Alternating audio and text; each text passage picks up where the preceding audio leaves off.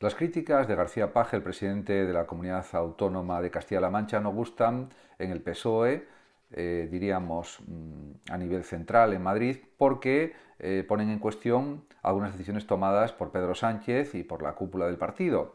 Pero es verdad que el deseo de una mayor financiación, la solicitud de 3.000 millones de euros más para varias comunidades autónomas,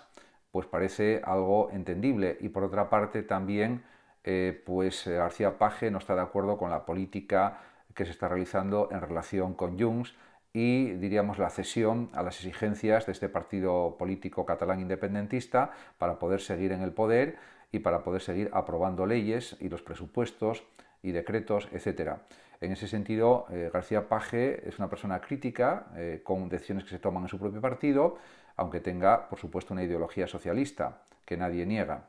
pero es coherente.